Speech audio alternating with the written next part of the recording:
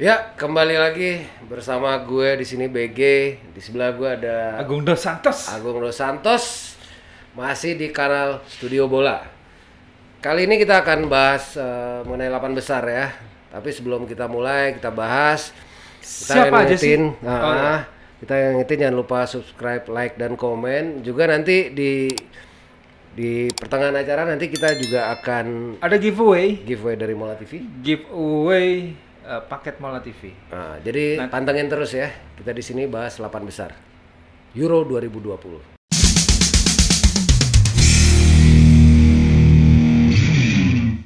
Jadi ini udah ketahuan semua yang lolos ke 8 besar ada Switzerland, ada Spanyol, ada Italia, Belgia, Ada Ceko Denmark. Ceko Denmark, Ukraina juga ketemu Inggris. Iya.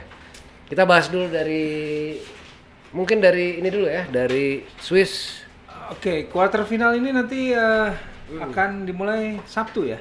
Sabtu 2 Juli. Sabtu itu nanti eh, match pertama adalah Swiss melawan Spanyol yang akan eh, berlangsung di eh, Rusia ya, Saint, Peter- Saint Petersburg. Uh, Ukraine ya. Eh, Swe- Rusia apa Ukraina? Rusia. Ya? Rusia. Rusia ya. Rusia. Rusia. Rusia. Ya artinya Dan ini tempat netral ya. tempat netral artinya. Karena memang eh, Rusia itu salah satu host juga ya untuk eh, partai perempat final. Finalnya sih di Wembley. Wembley nanti. Oke. Oke, jadi ini netral antara em, Swiss sama Ya. Kita, Spanyol. Kita bicara Swiss Spanyol. Kita bicara Swiss dulu. Kalau Swiss dengan suksesnya mereka ngalahin Prancis kemarin lewat adu itu penalti.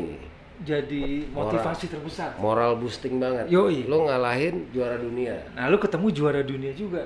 Mantan. Mantan. Mantan Sama-sama juara mantan dunia. ya. Iya, jadi Sama-sama mantan. artinya juara dunia terkini dia kalahin kan gitu. Mhm. Artinya ada moral boosting juga dari dari uh, Swiss. Jadi mereka seenggaknya dengan pencapaian berhasil ngalahin Prancis secara moral dan mental tuh, weh gue juara dunia aja bisa gua kalahin. Apalagi lu yang mantan juga. Iya. Apalagi Spanyol yang sekarang istilahnya Spanyol sekarang bukan Spanyol yang zamannya Xavi sama Iniesta gitu Hmm. kan. Spanyol yang baru, yang banyak pemain-pemain yang belum berpengalaman, Aha.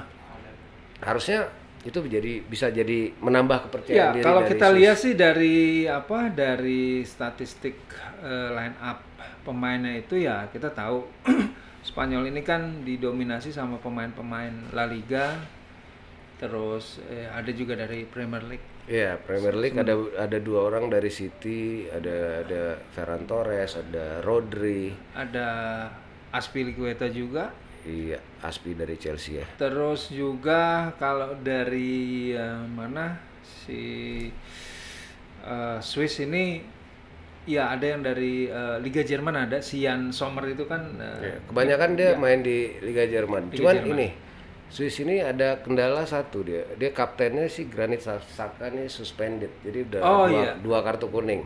Bisa nggak nih dia tanpa Granit Xhaka yang kemarin tampil cukup bagus ya. cukup baik ya dia salah satu pemain yang paling berpengalaman juga di Swiss main di Arsenal gitu Hmm. kan kapten juga. Tanpa sang tanpa sang kapten bisa nggak nih mereka menahan Spanyol? Itu dia pertanyaannya. Ah, ah, ah. cuman Karena yang ah, yang gua lihat sih kemarin Swiss ini si Severovic-nya ini si strikernya ini lumayan bikin Prancis kemarin tuh belakangnya Prancis kita tahu di sana kuat gitu bisa bisa kalang kabut juga tuh berkat dia seorang gitu si Severovic. Bisa nggak dia nih dengan Spanyol yang yang kebanyakan memang kalau center backnya bisa dibilang pemain kuat semua ya, pemain jago di lini belakang semua ya. eh, bisa dibilang kuat tapi kayak Eric Garcia atau Pau Torres gitu ya. Ka- ka- belakangan yang sering di, diturunin tuh adalah Eric Garcia. Sebenarnya Eric Garcia ini di City tuh nggak pernah main. Iya. Eh, beda sama Pau Torres yang di Villarreal yang memang main terus. Cuman belakangan Pau Torres tuh kayak super sub ya jadi back cadangan nah bisa nggak nih si Ada juga eh, Jordi Alba, ada siapa? Ada eh, Aymeric Laporte. Itu juga di belakang juga cukup bagus ya. Iya. Cuman satu yang gue lihat sih dari Spanyol ini yang berbeda adalah ketika di 16 besar kemarin eh, mereka nurunin Koke. Nah, Koke ini kan pemain senior nih. mhm. Koke sama Busque di tengah tuh kuat banget. Betul. Artinya mampu memberikan apa ya pengalaman dia yang udah istilahnya di timnas sudah lama gitu pemain-pemain muda yang ini jadi lebih pede. Jadi kemarin tuh lawan saat mereka menang 5-3 kemarin itu jadi apa ya eh, lawan Kroasia kemarin mungkin jadi bisa jadi Motivator menambah ya? iya menambah ke- kepercayaan diri Spanyol juga. Kalau prediksi gimana? Kalau prediksi eh ini yang agak susah ya karena gua agak jagoin Swiss sih sebenarnya. nah Agak jagoin Swiss gua. Karena gue suka eh, Swiss ini kan underdog ya. ya underdog Underdog banget. Jadi mereka nih main nggak ada beban. ada beban Beda sama eh, Spanyol yang notabene eh, pemegang juara Eropa juga, Piala Dunia juga. Ini Iya. agak berat buat mereka sebenarnya. Spanyol dengan datang dengan reputasi sebagai mantan juara Yoi. Euro, mantan juara dunia gitu.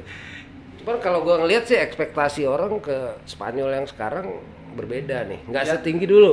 Betul. Nggak setinggi dulu ketika di situ ada Xavi. duet, iya, backnya ada Pique, ada Nah, Sergio ada Ramos, Ramos. ya kan gelandangnya Xavi, Iniesta, ada Busquets di Nah, situ itu ada ada Torres, Fernando Eh, juga juga strikernya dia punya David Villa Ya. gitu kan atau ya beda beda. Itu beda. Ada Fernando Torres dulu.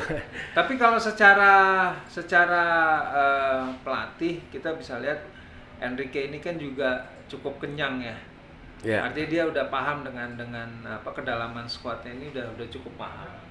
Sampai Spanyol lolos ke babak ini pun eh, quarter final ini ini eh, gua ngelihat Enrique ini eh, punya punya jeli agak jeli sih ngelihat ngelihat eh, ngeramu pemainnya ya.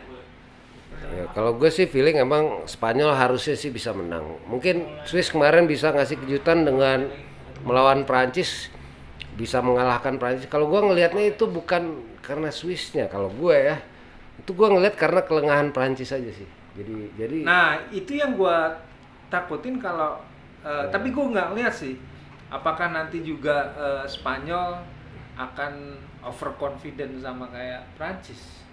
oke. Itu sih. tapi Mudah-mudahan gua pegang sih. Swiss. Pegang Swiss ya. Satu kosong. Satu kosong buat Swiss. Satu kosong Gue buat sih Swiss. prediksi tanpa Gradit Saka nih tengahnya agak lemah jadi gue lebih prefer 2-0 buat Spanyol.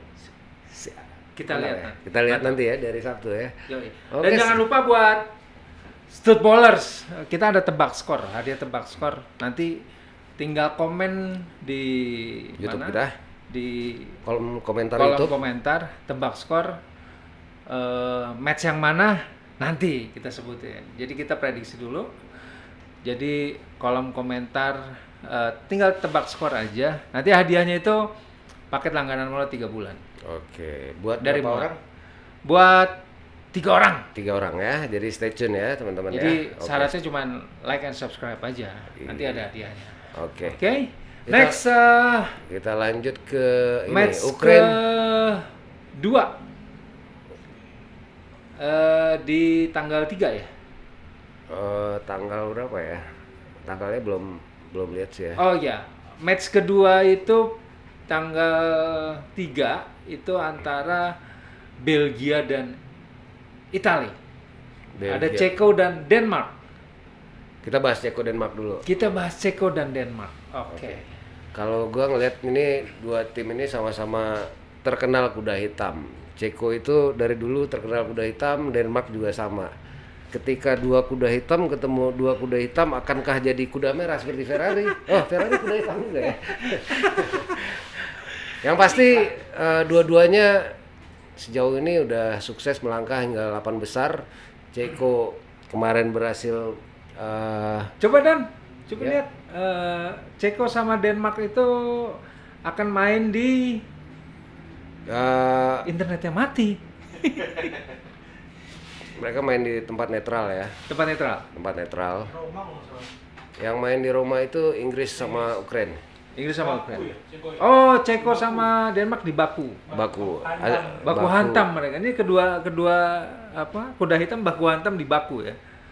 Kalau kita lihat eh, line up ya di Denmark ini si Paulson udah sembuh, artinya bisa turun lagi. Mhm. Kemudian juga bek kanannya kemarin si Weiss juga udah bisa main kemarin juga sempat cedera tuh. Eh, cedera atau suspended. Mahel. Mahelnya kiri. Mahela kiri ya. ya West kanan artinya bisa full tim nih Denmark Denmark bisa full tim kalau dari Ceko juga nggak ada sesuatu yang berarti sih artinya mereka juga pelatih bisa turun dengan 11 pemain Ini terbaiknya eh, sama-sama tim tim kuda hitam yang akhirnya ketemu di babak eh, per delapan ini yang sebenarnya bagi eh, kedua kubu fans ini berharap ada yang lolos salah satu ya. Gue gue yakin gini. eh, orang mungkin underestimate sama Ceko di awal. Begitu juga Denmark. ya Tapi saat kedua eh, tim ini bertemu, ini yang akan jadi jadi tanda tanya nih. Ini Bandar gimana nih? Arahannya ke mana nih Bandar? yang pasti eh, ya berat ya cuman kalau kita bicara ini ya mental, keunggulan mental, mental. mental Denmark dia pernah juara Euro Ah, Ceko prestasi terbaik Semifinal. finalis eh semifinal. semifinal ya Semifinal. yang Euro 96 ya Iya. eh Eh, enggak, dua ya some, something lah. Iya, artinya yang pasti belum pernah juara Euro Belum, ya. Denmark udah. Dari sisi Denmark dia udah punya, udah pernah juara. Dan dia punya motivasi lebih di situ. Jujur ini susah diprediksi ya.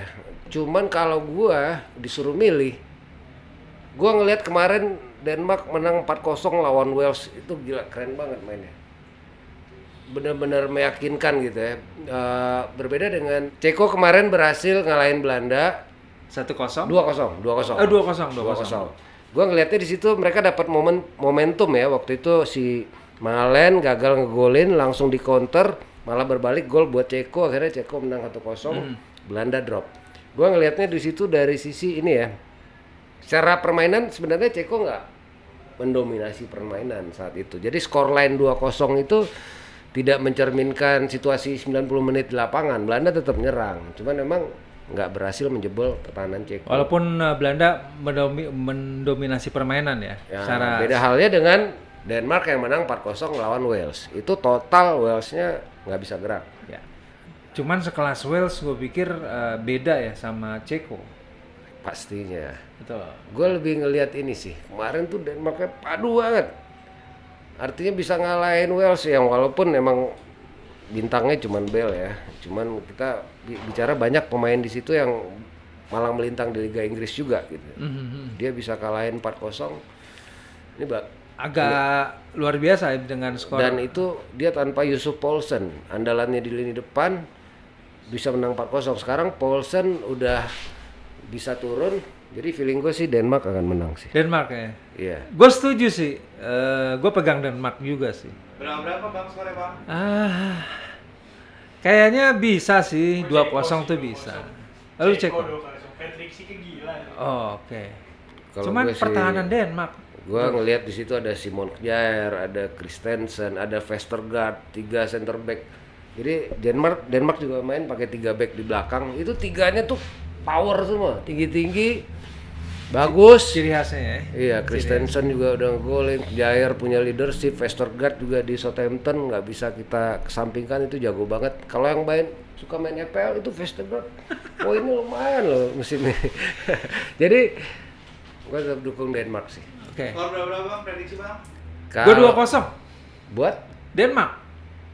kalau gitu gua Ceko. Denmark juga. Oh iya. Nggak masalah. Nggak masalah ya, kita sama-sama jagoin Denmark Sama-sama, ya. sama-sama. Oke. Walaupun di Ceko ada Soucek, ada Koval, tapi gue tetap Denmark. Nah, terus eh, Next. ada Ukraine, sama England. Inggris. Nah, ini nih. Di Rome mainnya Olimpico. Iya. Eh, main di Roma ya, artinya main di di, Roma, tempat, netral. juga. Ukraine kemarin secara mengejutkan berhasil mengalahkan Swedia. Tadinya gue dalam hati dua gue ngunggulin Swedia, sih. Iya, iya, Swedia. iya, sama-sama. Nggak nyangka juga kemarin bisa kalah, walaupun emang efek dari imbas satu orang backnya Swedia kartu merah. Mhm. Pas kedudukan satu sama. Akhirnya jadi kartu merah, akhirnya keunggulan pemain jadi keunggulan pemain jadi ini ya eh, eh, dimanfaatkan oleh Ukraine. Kalau kita bicara Ukraine pemain yang berbahaya ini Yarmolenko. Yarmolenko yang Ya. lagi naik daun ya. Iya, dia main di Liga Inggris ya kan walaupun jarang jarang main ya di klubnya ya. Di apa? Di West Ham. Eh, ada Yarmolenko, ada Yaremchuk. Cuman yang berbahaya satu lagi adalah Zinchenko, Zinchenko, pemain City. pemain City. Iya, Sama. Zinchenko kemarin satu gol, satu assist. Satu gol satu as. Jadi saling assist nih sama Yarmolenko. Golnya dia di assist sama Yarmolenko. Yarmolen eh, si Zinchenko di asis. Nah, jadi itu dua dua figur ini yang yang lumayan kuat di Ukraine. Ditambah mungkin ini ya apa Kogul, eh, Shevchenko mungkin pengalamannya pernah main di Liga Inggris mungkin sedikit tahu karakter permainan dari England. Nah, ya mungkin dari si Yarmolenko sama Zinchenko lebih banyak masukannya jadi Iya. karakter-karakter pemain Inggris itu seperti apa? Tapi apakah cukup? Apakah cukup? Pengetahuan akan Liga Inggris tadi, pengalaman Liga Inggris tadi. Tapi kan untuk- mental juara si Z- Zinchenko itu kan eh, Oh, mental- mental City ya. Mental City kan di City Iya. dia juara IPL tuh udah tahu skenario seperti apa. Sekarang kita bicara Inggris. Inggris lagi hype banget nih Inggris. Habis ngalahin Jerman itu kayak serasa Menang habis piala- ngangkat piala World Cup gitu. Dari dulu emang Inggris ini kalau ketemu Jerman kalau menang euforianya luar biasa. Beda, beda. Iya. Seperti artinya unik lawan Jerman ini udah kayak Ya kalau kita bicara timnas Indonesia mungkin ketika lawan Malaysia kurang lebih gitu ya perlu derby ya. derby derby Asia Tenggara kan. Derby Asia Tenggara. Iya.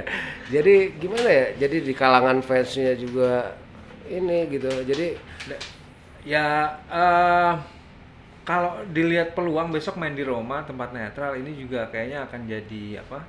beda dengan Wembley kemarin pasti. Beda, beda, beda. Tapi eh, gue yakin sih di di Roma pun nanti eh, akan lebih dominasi dari fans-fans Inggris. Pertanyaan gue sekarang adalah ketika lawan Jerman si Southgate ini nurunin tiga main pakai tiga back. Mhm. Apakah ketika ketemu Ukraine dia akan balik lagi ke awal dengan 4 back Empat back. atau meneruskan tren kemarin yang sudah bagus lawan Jerman? Tapi nggak mungkin biasanya pattern itu nggak mungkin akan dengan formasi yang sama ya. Karena gue lihat ini banyak eh, eh, Inggris akan lebih menyerang sih. Kalau gue ngeliat cuma sekelasnya sekelas Ukraina ya.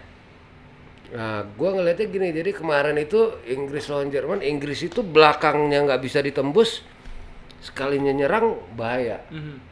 Jadi gua ngelihatnya uh, Southgate ini akan cukup nyaman dengan formasi kemarin lawan Jerman. Terbukti kemarin itu dia Inggris itu benar-benar pertahanannya nggak bisa ditembus. Tapi masalahnya eh, ini kan baru baru baru perempat ya. Kita masih ada semifinal dan final. Iya, Eh, faktor misal untuk rotasi pemain juga penting. iya Karena kemungkinan kita sih. tahu, karena kita tahu eh, ini kan dari eh, match awal nih Inggris pemainnya kan itu itu aja nih di cadangan masih banyak yang bagus-bagus yang belum diturunin. Iya, jadi kemarin yang gue lihat kayak Calvin Phillips, Declan Rice itu masing-masing udah satu kartu kuning. Jadi kemungkinan salah satu dari mereka tuh akan dicadangin. Eh, kemungkinan Henderson akan turun, Henderson Ya, Jordan Henderson Henderson. kemarin sempat turun di babak kedua ya. Iya, gantiin salah satu dari mereka. Terus kalau di depan gue juga ngelihat kemungkinan Mount akan turun. Ada kemungkinan Grealish akan starter. Eh, di depan tetap Harry Kane pastinya. Ya gue juga mungkin ngelihat eh, di kiri mungkin Ben Chilwell atau si Rhys James itu juga akan turun sih ya. Karena Harus kita ya. tahu eh, apa di lini belakang ini kan Iya. eh, Inggris bu- butuh rotasi sih sebenarnya. Ya, harusnya karena jarak pertandingan yang satu dengan antara perempat final dan semifinal begitu juga 16 besar ini kan cuma tiga hari, tiga hari. jedanya Artinya tiga butuh butuh. Kenapa skuad ini ada Butuh 26 refreshing orang? Iya, kemungkinan sih mungkin bisa jadi Chilwell akan turun, juga Rhys James. Artinya ada refreshment di situ. Kalau di depan sih gua ngelihatnya ya mungkin Starling tetap akan starter ya. Tapi gue setuju tadi mungkin Jack Jack Jack Grealish akan diturunin di awal. Ya, Eh, karena masih ada Rashford juga, iya. ada Sancho juga di depan yang belum. Ya, belum- pastinya akan ada rotasi, tapi jangan sampai rotasi yang justru akan menurunkan kepercayaan diri tim kan That's gitu. right. Jadi mungkin ada di satu dua posisi akan ada rotasi dari Southgate. Mhm. Tapi feeling gua ya Inggris akan melaju dengan mudah kalau ngelihat kemarin mereka de- lawan Jerman bisa sebagus itu.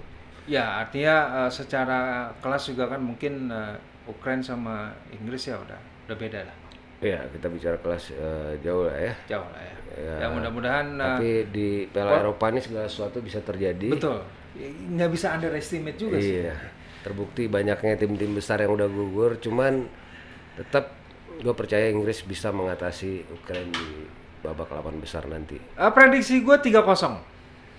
Kalau gua prediksi Inggris ini kalau nggak banyak-banyak lah. Biasa standarnya 1-0. Ya kemarin itu dapat bonus lah, dapat satu. bonus. dapat bonus satu. Biasanya satu kosong. Karena kemarin juga gua udah yakin satu kosong. Jadi ya udah.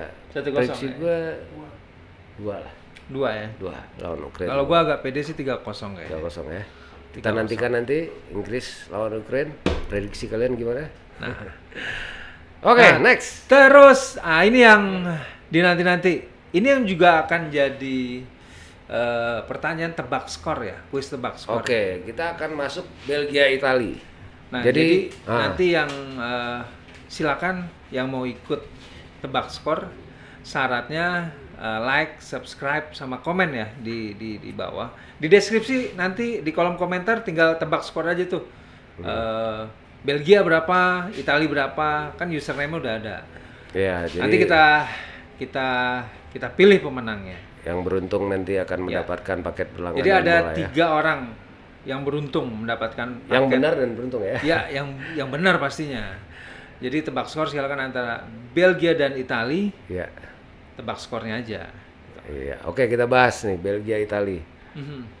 Ke Belgia ada kabar buruknya Eden Hazard dan Kevin De Bruyne ini ah, kondisinya ah, Hazard tuh ada sedikit gangguan hamstring sementara si De Bruyne itu ankle. Ini lagi kejar tayang nih apakah mereka belum di- bisa dipastikan mereka akan turun pas nanti akan fit pas match lawan eh, Italia nanti nih dua-duanya masih doubtful lah. Jadi ya mudah-mudahan mereka bisa turun. Jadi ya Belgia juga bisa full tim gitu. Harapan kita sebagai penonton kan pastinya gitu. Mhm.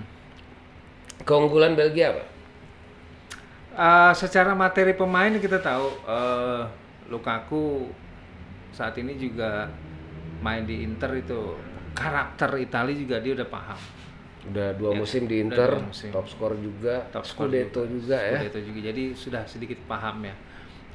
gue juga ngelihat bahwa Martinez pelatihnya siapa Belgia ini juga cukup paham eh, dengan karakternya Mancini ya. Ya. Jadi eh, Roberto Martinez gue pikir juga nggak akan eh, ngilangin kesempatan ini di babak perempat final ini. Jadi gue pikir eh, ini yang agak susah sih sebenarnya. Sementara Italia juga eh, akan nerusin tren positifnya nih di, di Euro.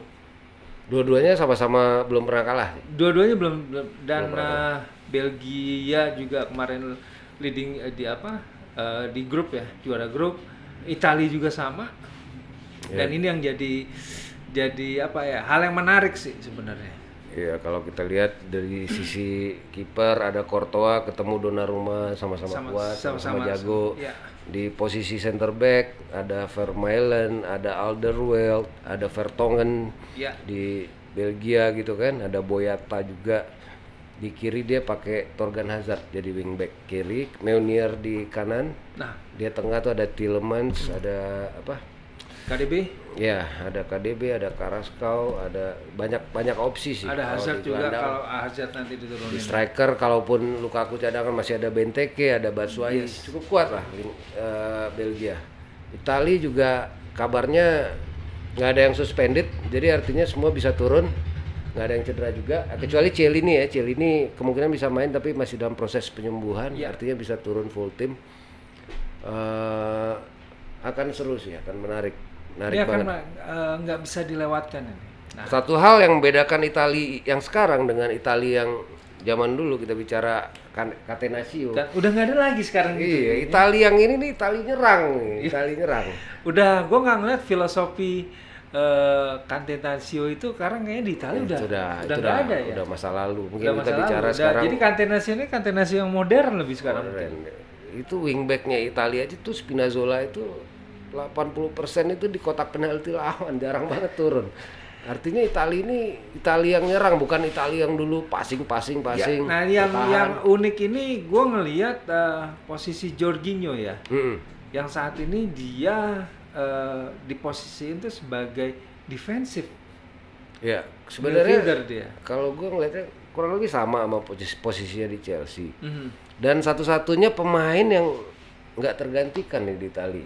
Gua ngeliat kayak di tengah Itali itu ada Locatelli, ada Banyak pemain bagus ya. ada Messina, semuanya dirotasi nih. Ya, Sama kecuali Man- dia. kecuali Jorginho. Artinya nih Jorginho kunci banget nih Kunci banget. bagi Mancini. Artinya buat suplai bola ke depan dari back. Jadi benar-benar dia yang mengatur, mengatur pola permainannya Itali nih.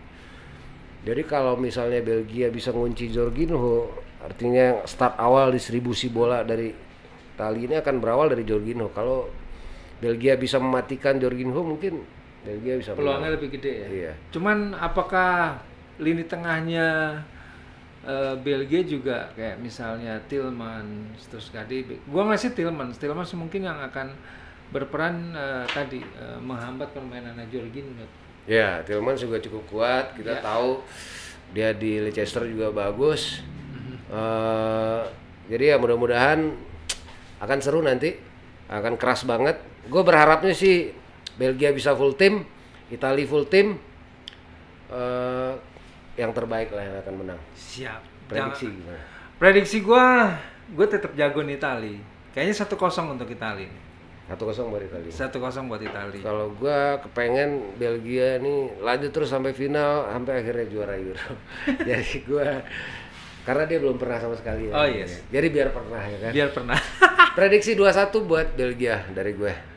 Oke Jadi itu dari gue terserah kalian yang mau make yang mau ikut ya tebak skor. silakan di di di kolom Nanti di kolom komentar jangan lupa tebak skor. Jadi akan ada tiga pemenang yang beruntung. ya jangan dan lupa apa dan yang pasti nontonnya ada di Mola TV di Mola TV ya. Jadi Mola TV terus nanti yang mau berlangganan silakan di kolom deskripsi juga yang ada yang yang komen nanti jangan lupa di like juga, subscribe juga eh, Studio Bola. tebak skor tebak skor ini Ya, berlaku sampai kapan sampai berapa? nanti eh, babak quarter final selesai Ya. nanti kita umumin juga eh, pemenangnya di kolom komentar ini nanti kita hubungin Iya. kalau ada yang menang ya mudah-mudahan sih ada ya kan Oke.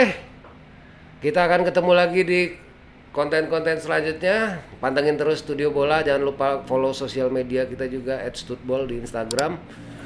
Oke, kita akan ketemu di semifinal dan final ya.